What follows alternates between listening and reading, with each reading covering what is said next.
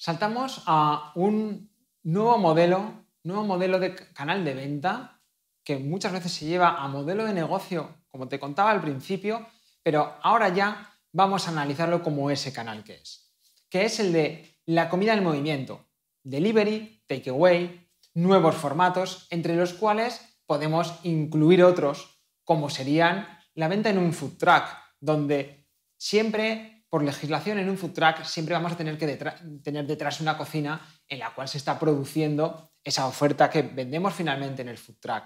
Esto es, una, esto es comida para llevar de alguna manera o para consumir en la calle.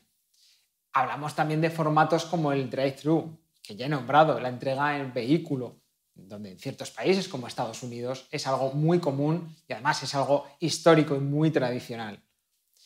Todo esto quiero que se vea con, un, término que está por encima de todo, por encima del delivery sobre todo, que es el término de la comida en movimiento. Y esto ahora vamos a ver el por qué, por qué vamos a unir todos estos canales. Y es que los formatos para llevar, también llamados el delivery, takeaway, son una clara tendencia al alza. Eso es indiscutible, porque se adapta a un nuevo modo de vida de nuestro cliente y por ello nos tenemos que adaptar.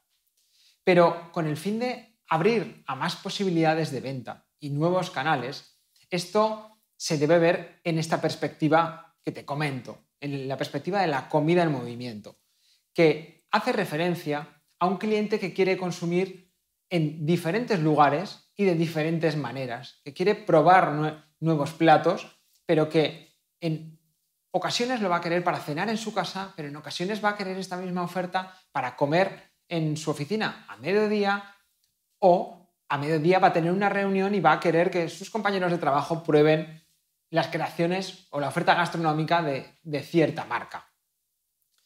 En los factores en los que nos basamos para homogeneizar esta oferta y que ya es por definición lo que marca esa comida en movimiento, y aquí es donde debes hacer una reflexión de qué factor principal tiene la comida en movimiento.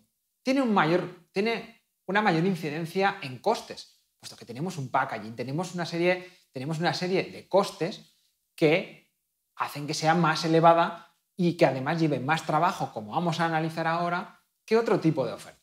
Entonces tenemos que saber extraer las bondades que nos deja cada uno de estos para poder aprovechar en la creación de nuevos canales o en la mejora de los canales que ya tenemos.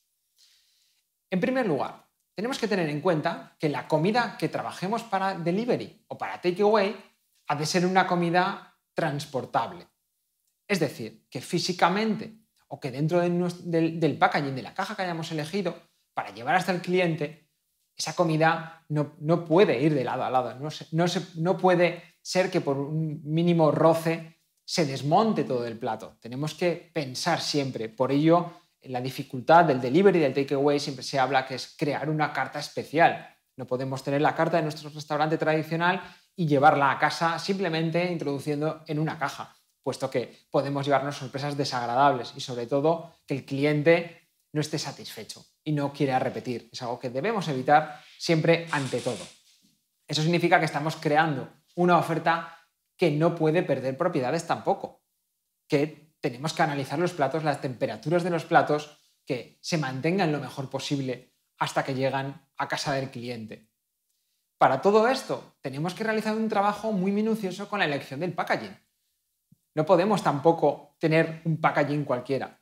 No podemos tener cada uno de nuestros platos en un packaging que no se parezca en nada a los demás. Perdemos la imagen de nuestra marca y recuerda que la marca va a ser siempre el epicentro de cualquier acción que vayas a tomar en torno a la comida en movimiento. Algunos ejemplos y oportunidades que existen en la comida en movimiento como nuevos canales de venta pueden ser los meal kits o los llamados kits de comida para cocinar que son esa preparación de kits en los cuales el cliente en su casa puede terminar de cocinar o puede terminar de montar.